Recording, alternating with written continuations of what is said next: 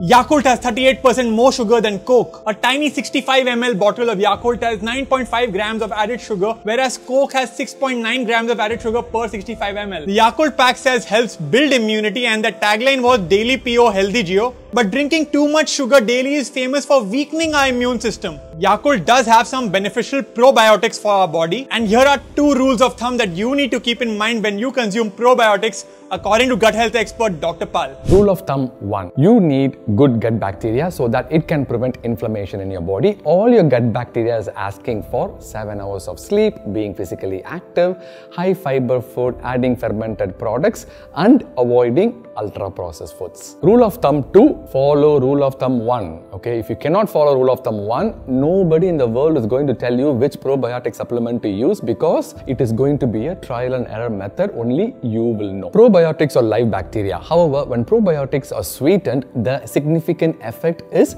significantly reduced. Consuming sweetened probiotics and thinking that you are getting health benefits is almost similar to you are thinking you are in a clean, fresh swimming pool, but there is a guy silently peeing into the pool. A difference you might not notice.